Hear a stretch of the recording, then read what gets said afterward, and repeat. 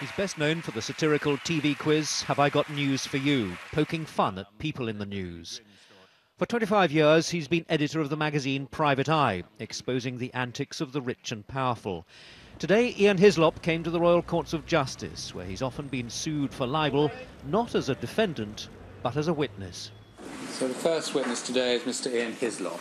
Mr Hislop told the inquiry that News International had felt it was untouchable over phone hacking, partly because of the unhealthy proximity between press barons and leading politicians. If you're the editor of a, a Murdoch paper and you see, oh, the Prime Minister's organising a slumber party for the proprietor's wife at Chequers. Oh, um, presumably that gives you unbounded confidence to do whatever you like.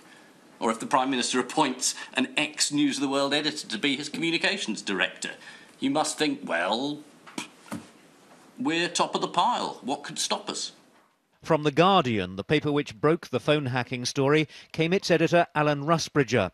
He said that the Metropolitan Police had tried to persuade him not to run the story. There were two occasions where very senior Met officers came to see me, in effect, to try and talk me out of the story. From the Sunday Times came its editor John Witherow. He was asked about the subterfuge used by the paper in 2000 to obtain details of the then Chancellor Gordon Brown's finances. Did someone on your behalf pretend to be Mr Brown to blag that information? Yes. Mr Witherow said the story had clearly been in the public interest.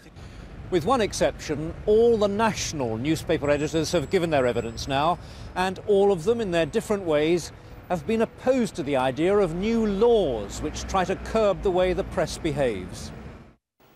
Tomorrow, the inquiry moves on to celebrity magazines and regional newspapers. Nicholas Witchell, BBC News, at the Leveson Inquiry.